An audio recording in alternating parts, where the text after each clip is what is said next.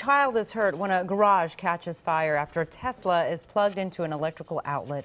A family is safe tonight, but their cars are history after some sort of electrical fire ripped through their garage. KCAL 9's Amy Johnson live in Cerritos where she spoke with the homeowner about that close call. Amy?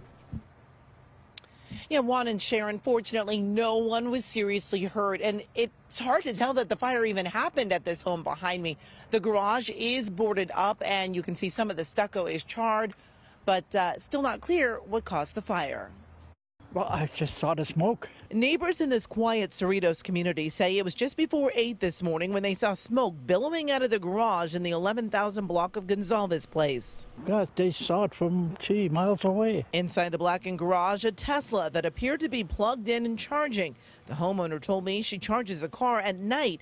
She said she heard a pop this morning and then smelled smoke.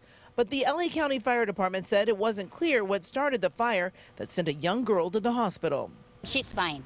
The baby's fine. Yes. Thank you so Thank much. You. One neighbor told us some of the older homes in the area still have aluminum wiring and wondered if the old electric systems could carry the load of charging a Tesla. Crews boarded up the burned out garage with one charred car inside and another in the driveway.